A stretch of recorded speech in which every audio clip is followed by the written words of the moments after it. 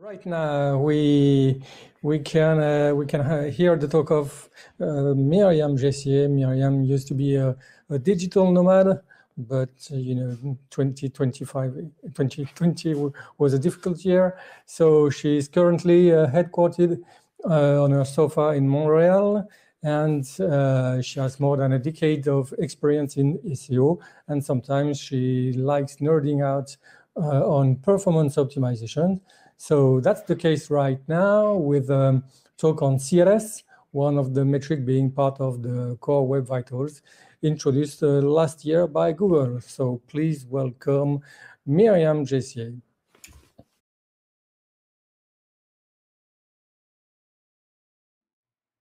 Hello, everyone.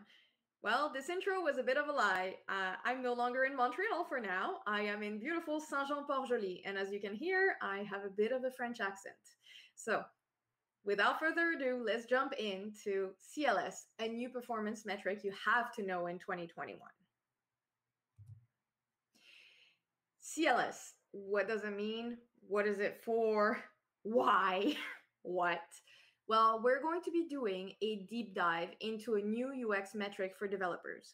And you will see that the notion of UX, user experience, as it's defined by Google um, in the past and in the future with this, these new coming updates, is very different to what a user experience expert um, would talk about, would consider. So, this is really a metric that has been put into dev terms. And I want to present how it's been thought about, how it's considered, what its impact is, and how you can avoid having it mess with your visibility online. So, bonjour, hi, as we say in Quebec. Um, I'm Myriam, and you can find me on Twitter at Myriam Jessier. Uh, Augustin and I, well, Augustin is the other person in the picture, we own our boutique search experience agency in Montreal. So by boutique is we mean we're only two. We have a lot of experience and we have a lot of fun thinking about the search experience. What happens to you when you put some words in the search bar and results happen? What is the adventure that will lead a user to a website? So, this was the shortest sales pitch ever from a marketer. Enjoy it. Now, let's dig in there are some major new ranking things happening. Well, Core Web Vitals is by itself one of the big factors that will be considered by Google in 2021 when it comes to load time. But it's actually a cluster of three metrics. So I'm going to be presenting them and then we will zoom in to the CLS one, the one that we're interested in today. Google has a new updated ranking algorithm. They've been making some big, big, big changes. When will these big changes happen? Well, when they first announced these core web vitals, the answer was eh, somewhere in 2021. The reason why, well, a global pandemic happened. So the rollout was supposed to be in 2020, Turns out nothing went according to plan. So now the rollout is planned for May 2021. This leaves you a few months to get on the bandwagon. Why does it leave you this little time? Well, UX is more important than ever for Google, ever. The reason why is marketers are not spending the big bucks in ads. This stuff better work, otherwise, we're not spending money. So now everybody cares about user experience and how users feel because they are potential clients. So, how do we consider UX when it comes to search engines? Well, that's a big question. That's something that Google started thinking about quite a few years ago with PageRank Experience. This is used to measure pages based on their UX criteria. So with PRE, Google aims to rank websites that are serving accessible and usable content. They're also aiming, amongst other things, this year to combat fake news, to actually develop their ability to read images. And the brand new thing they're talking about is you upload your website and they give you videos based on your website. So YouTube is getting a lot of love too. It's not just performance when it comes to websites load times. Google has invested a lot to improve user experience across their products. So ultimately, if Google thinks that users are having a poor experience on your website, your rankings will suffer. And why should you care about this? Well, it's nice to be number one in Google, but ultimately it's all about visibility. If you are not in search results, but your competitors are, that's going to be a big problem for the bottom line. And that problem, according to Google, falls squarely on the shoulders of technical marketers like me, but also developers like you. So let's figure this out. If we look at PageRank experience as a whole, well, it, it really accounts for all the search signals that are considered by Google when it comes to page experience. So let's break them down. Your page has to be mobile friendly. Browsing must be safe. You must have an SSL certificate and no intrusive interstitials. I love that one because nobody actually knows what it means. Let me simplify it. No intrusive, aka no annoying pop ups on mobile. That's about it. What it comes down to is your pop ups should be 15% or less than the mobile screen size. So now that you know this, or now that you're going to pretend you knew this all along, let's look at the new stuff. Google cares about loading, interactivity, visual stability. And the company has given names to these metrics, the way they look at them. So Google already uses many existing factors. I've listed them. They have some penalties. I mean, they will downgrade you or remove you from results if you don't follow the rules. So this is something you should care about. Mobile friendliness, all of your pages should be mobile friendly. All of them. You can check that with a mobile friendliness test. You literally type into Google mobile friendly test. You will find it, it will load up in the results. Safe browsing. So, no malicious or deceptive content. This is very, very complicated. Why? Well, it's not always you. A lot of websites are getting hacked so people can redirect them, hackers can redirect them to fake websites or to cheap Viagra. So this is important because it's literally how I met uh, one of my very good friends presenting in this conference.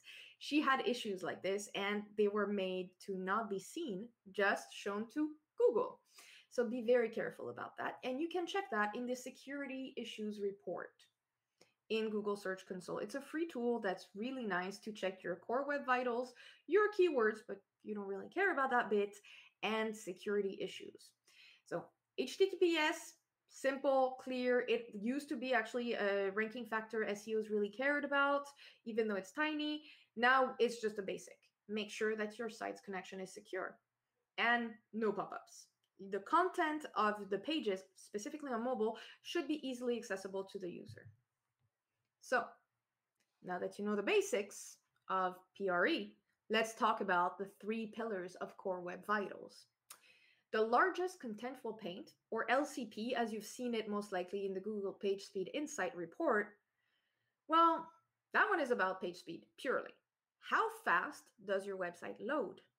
Now, cumulative layout shift, or CLS, is basically Google asking, how visually stable is your website? Now, that's Google's question. For you, if you have ever landed on a page, click the button, and at the last second it shifts and you hit something else, yeah, CLS cares about that. There is now a number on your pane. And then there is interactivity, FID, first input delay.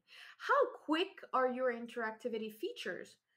When the user clicks something, how long does your site take to process and give back a result? So these are questions that are asked now in 2021. But for us today, all about CLS.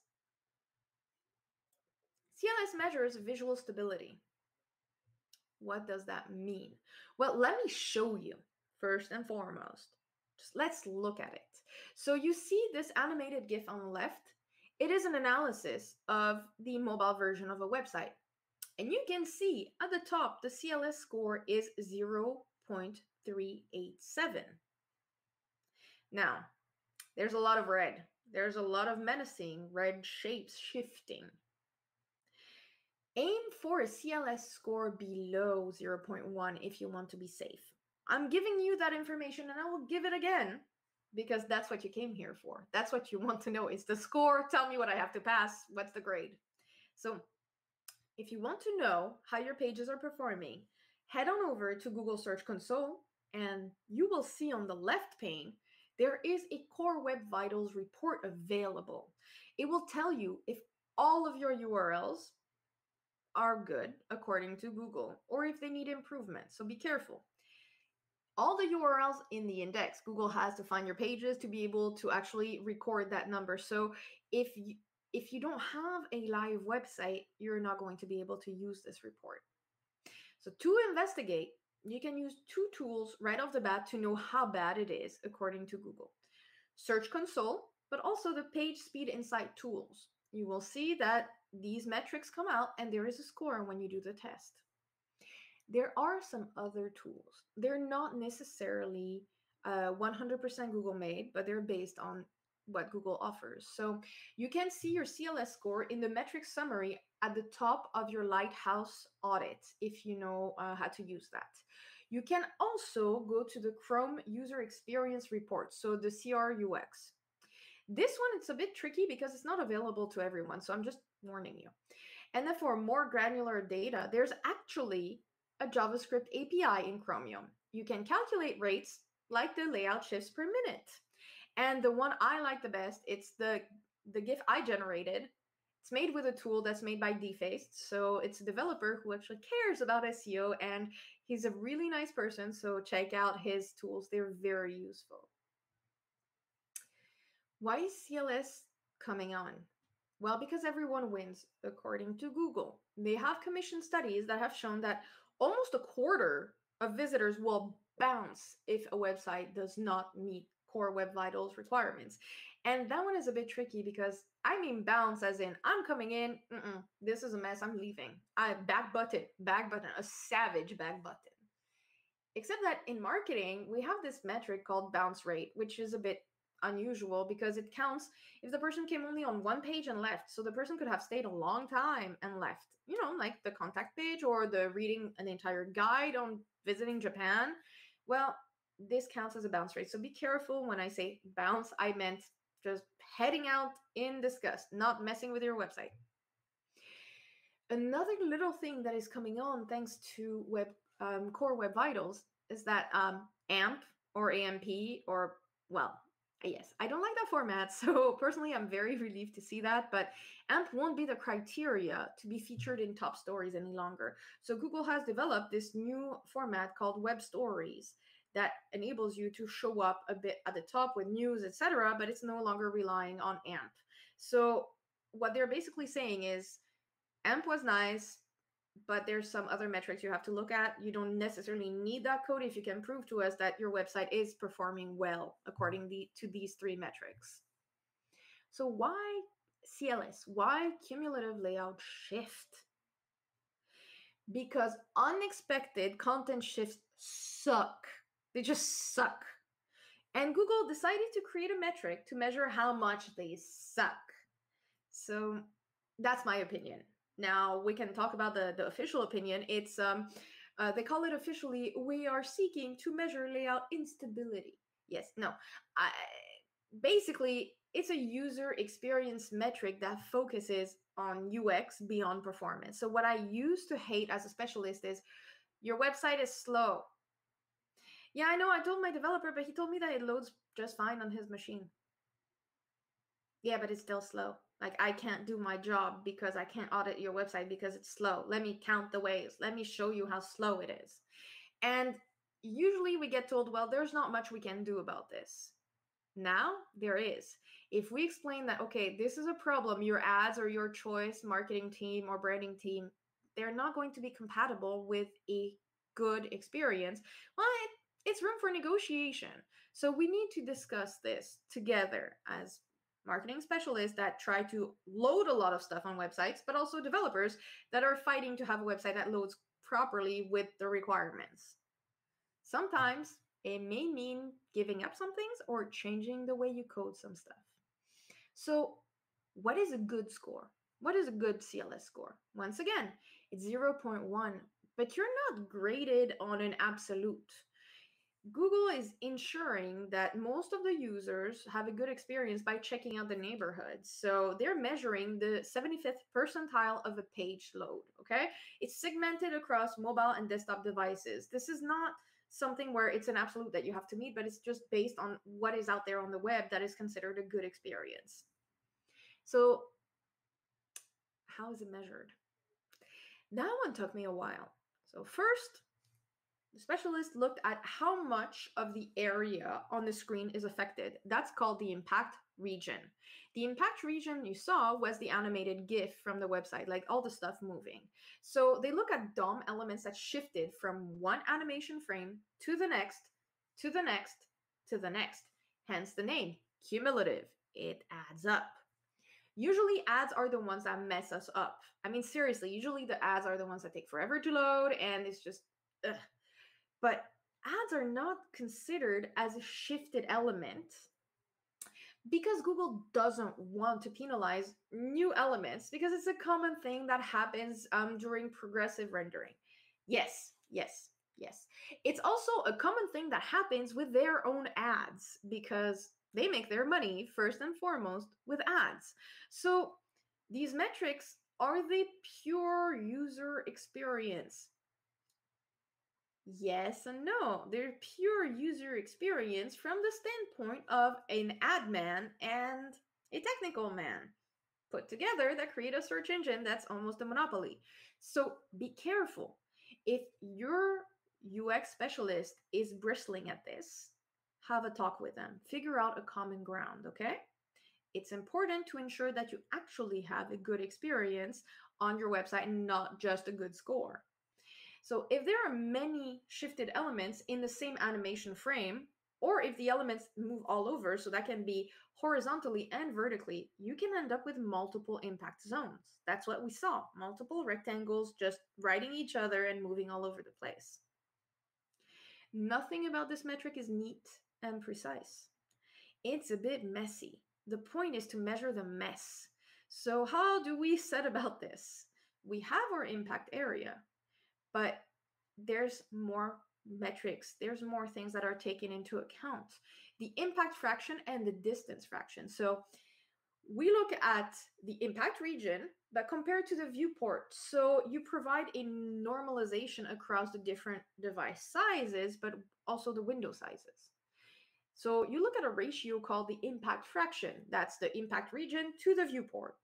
But if something moves a lot, that's super distracting. So you are going to get a really bad grade. What if something moves a little, but over many frames? Well, it's also a problem. So we're looking at two elements because there's a maximum move distance for each frame that is determined. And if you go beyond that, that's considered and it, it accumulates. But there's also the question of if there's one big shift, it's also measured. And graded. So you need to take this into account to end up with a score. So that score is the impact fraction by the distance fraction. So how far did it move? And you get a score per animation frame. So it's per frame, as you can see on the bottom left.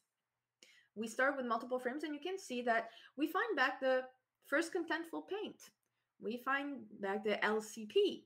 So we have some metrics that are shown in the page speed insight report, and we can physically see, you can see that the green element that says décalage de mise en page cumulatif, aka cumulative layout score, but in French, is passing for this test. It's good. It works for them. Is the experience great for the rest of the metrics? No, but this one passed. So you can also have a website that doesn't offer a great experience, is super slow to load, but doesn't move much. So you're home free with CLS. So you have to know when to focus on this. Test it out. If this is a problem, take it into account. If it's not, be safe. That's good. Common issues that you will encounter are a bit um, expected. So I try to list the most common ones. Number one is the rendering in the page can change asynchronously in response to user input. So Google's solution is you have an input um, window, like you have a little input window. So your shifts will get ignored within half a second of the input. So if somebody pushes a button, that half a second is home free for you. Things can move. There's another problem. If you animate uh, a layout related property with CSS, like um, position offsets, you will have an issue with Google because ugh, the browser's layout engine will have to rerun on every single animation frame. Remember the cumulative? That score can get really big. Even if it's a tiny move that occurs on every single frame, it gets added up. So the solution is to give you a pass on the transform property. Transform doesn't influence the surrounding layout. As long as, for example, your carousel is built with that, you will have a CLS score that is safe. You won't have issues. And as a bonus, the transform property also allows you to be more efficient, even if your page is script heavy, which often happens when you work with, you know, marketers that keep wanting to add functionalities or cute things or marketing tracking stuff, etc., etc., etc. So, full disclosure, most of the time in performance, I end up by telling my clients, I know the culprit is Google and it's actually highlighted. Google is asking you to make their own services faster and you can't. So, this is what I mean by if you're stuck with a script heavy page, consider transform. How can you debug in DevTools? I've shown you quite a few tools, but this one is actually pretty neat, and I don't think many people know about this. If you go to your menu in DevTools, you go to More Tools, and then to Rendering, you will find Layout Shift regions. And so the content that shifted will be highlighted in blue. It's easy. It's not red and green like mine, but is blue.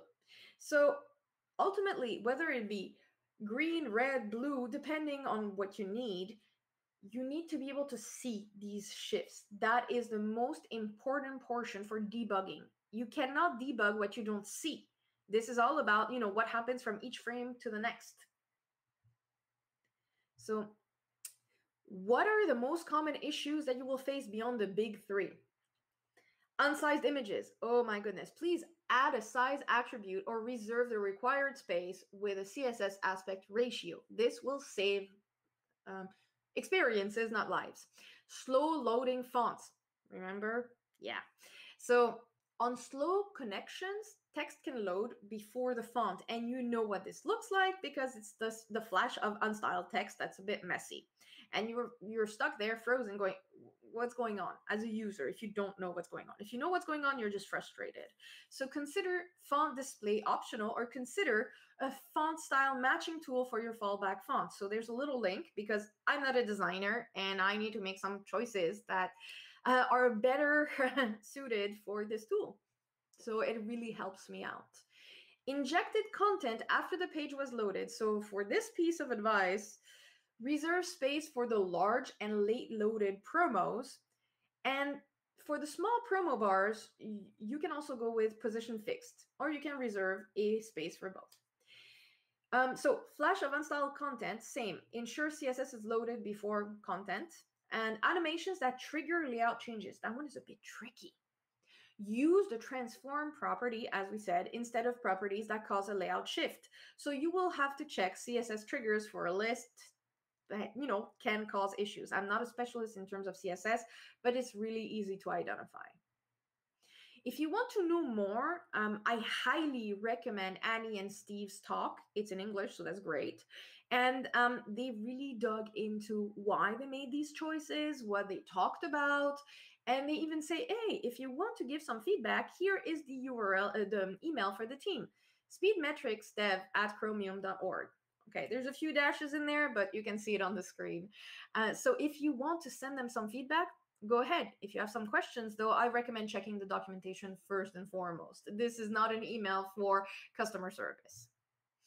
So thank you very much for listening to me, or as we say here, merci beaucoup.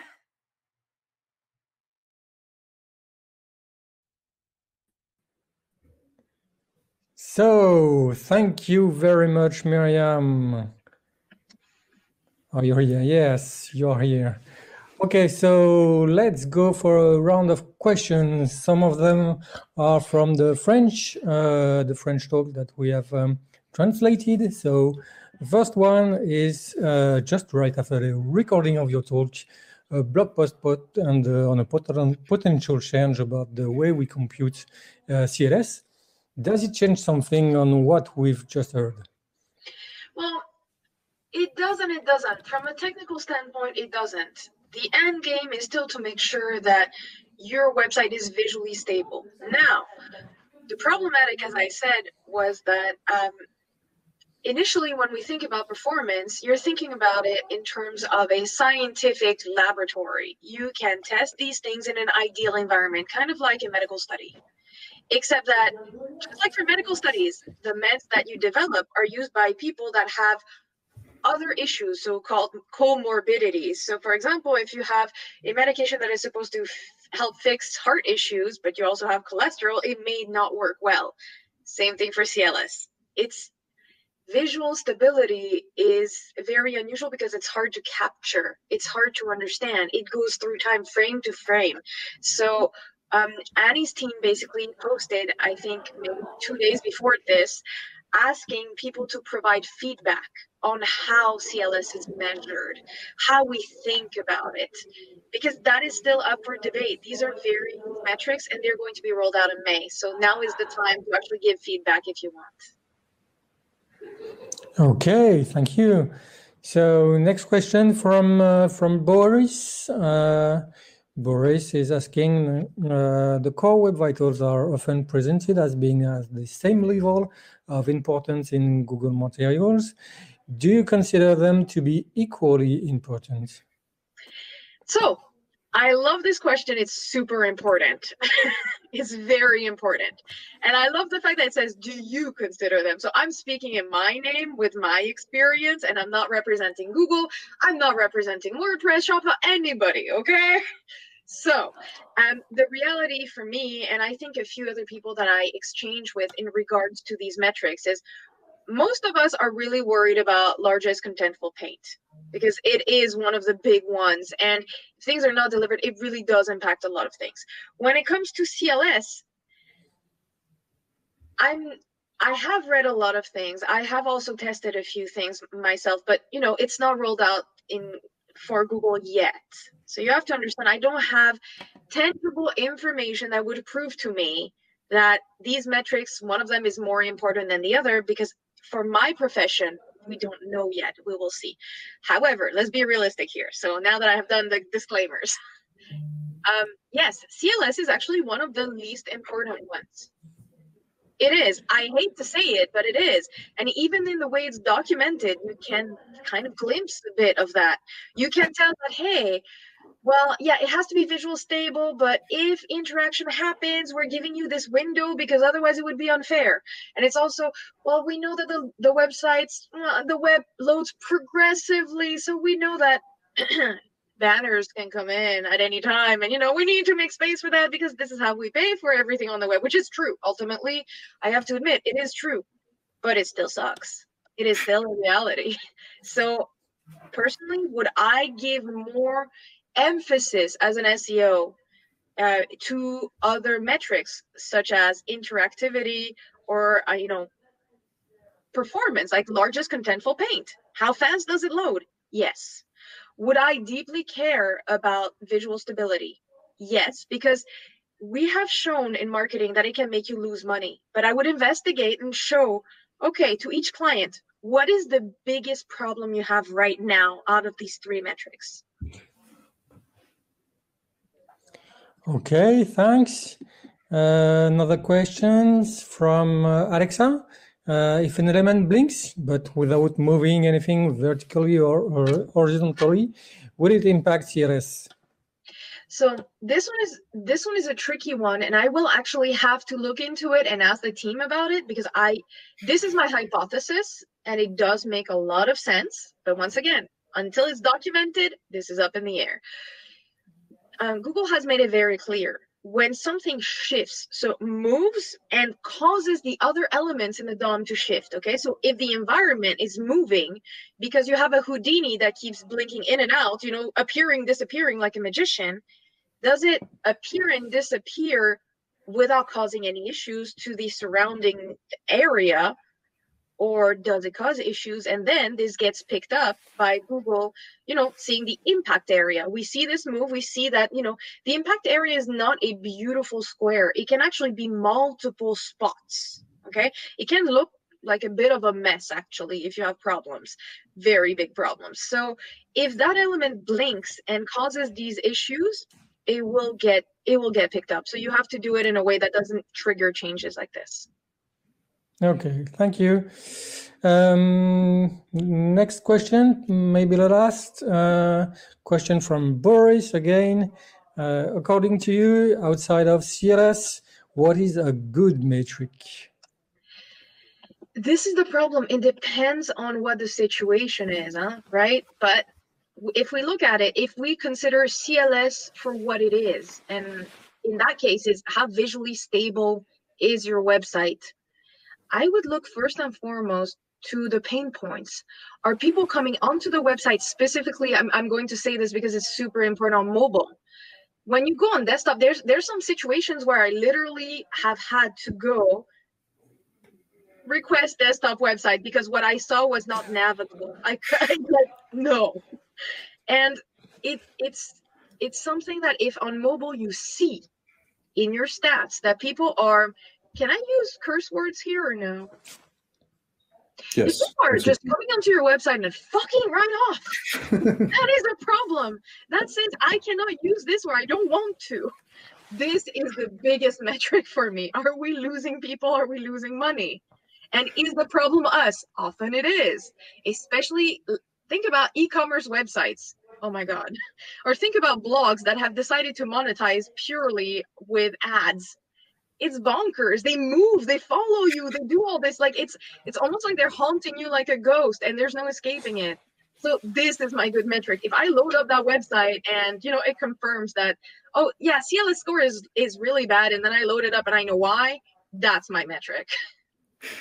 Amen to that. Thank you Okay, thank you. It was, that was the, the last question. So um, thank you very much, Myriam, for uh, both uh, both talks uh, in French and in English, and the time you, you spent with us. So um, thank you very much and goodbye.